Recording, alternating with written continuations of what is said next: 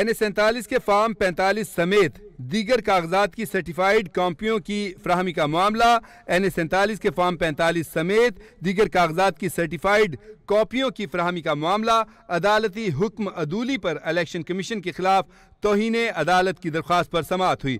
दरख्वास्त गुजारों, उम्मीदवार, M N A सैंतालीस आपको बताएँ कि दरख्वास्त गुजार, उम्मीदवार एन ए सैंतालीस, शुएब शाहीन ज़ाती हैसियत में अदालत में पेश हुए। चीफ जस्टिस ने इस्तफसार किया कि सर्टिफाइड कॉपियाँ उनका बुनियादी और कानूनी हक है, क्यों नहीं दे रहे? चीफ जस्टिस ने इस्तफसार किया, क्यों ज़बरदस्ती लोगों के इलेक्शन से मुतालिक शकूक व शुभात को बढ़ा रहे हैं? चीफ जस्टिस ने इस्तफसार किया कि अगर एक सीनियर कानूनदान बार सदर को इतनी भाग दौड़ करना पड़े तो आम लोगों का क्या होगा? अभी बताएँ, मजीद कितना वक्त लगेगा? एक साल, दो साल, तीन साल, पाँच साल तो मुद्दत होती है। आपको बताएँ कि इलेक्शन कमीशन के वकील जैगम अनीस की सर्टिफाइड कापियों की आइंदा हफ़्ते, आइंदा समाज से पहले फ्राहमी की यकीन दहानी, इलेक्शन कमीशन के वकील जैगम अनीस ने सर्टिफाइड कापियों की आइंदा समाज से पहले कोर्ट के चीफ जस्टिस ने केस की समात 24 अप्रैल तक मुलतवी कर दी है। अहम खबर आपको दे रहे हैं, एन ए सैंतालीस के फॉर्म पैंतालीस समेत दीगर कागजात की सर्टिफाइड कॉपियों की फ्राहमी के हवाले से केस की समात इस्लामाबाद हाई कोर्ट ने 24 अप्रैल तक मुलतवी कर दी है। आम खबर आपको दे रहे हैं, अदालती हुक्मदूली पर इलेक्शन कमीशन के खिलाफ तोहन अदालत की दरख्वास्त पर समात हुई। आपको बताएँ कि दरख्वास्त गुजार और उम्मीदवार एन ए सैंतालीस शुएब शाहीन ज़ाती हैसियत में अदालत में पेश हुए।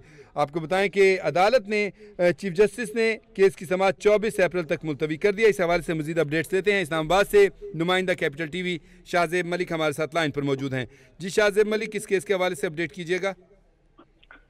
जी, बिल्कुल, इस्लामाबाद के हल्का एन एस सैंतालीस के काउंटर फाइल्स और रेटिंग अफसान की अपलोड करता फॉर्म पैंतालीस और इसके अलावा जो स्नैपशॉट की सर्टिफाइड कापियों की फरहमी का ये मामला था तो अदालती हुक्म मदूली पर इलेक्शन कमीशन के खिलाफ दोनों अदालत की दरखास्त पर आज समात हुई है। चीफ जस्टिस आमिर फारूक ने इस केस की समात की है और दरखास्त गुजार जो उम्मीदवार हैं हल्का एन एस सैंतालीस शुएब शहीन ज़ाती हैसियत में आज अदालत के सामने पेश हुए और उन्होंने जो 19 के सामने जो सर्टिफाइड कापियों की फरहमी के मुतालिक अदालती हुक्मदूली की गई है, उन्होंने मौका अपनाया और अदालत के सामने कहा गया कि अदालत ने मुतल दस हज़ार की सर्टिफाइड कापियाँ फराहम करने की हिदायत की थी, जो ताहाल जो उनसे वो अभी तक नहीं मिली हैं, जिस पर जैखम अनीस ने मौका अपनाया कि सूबाई इलेक्शन कमीशन पंजाब में केस से मुतलिक बात हुई है, जल्द इनको कापियाँ जो है वो फराहम की जाएँगी, जिस पर अदालत ने कहा कि ऐसी बात ना करेंगे, इस्लामाबाद का पंजाब से क्या ताल्लुक है जिस पर बताया गया कि इस्लामाबाद के इंतबी मामला को इलेक्शन कमीशन पंजाब देखते हैं। इसके अलावा इलेक्शन कमीशन के जो वकील हैं, उन्होंने एक हफ़्ते की मोहलत की सदा भी की, जिस पर चीफ जस्टिस ने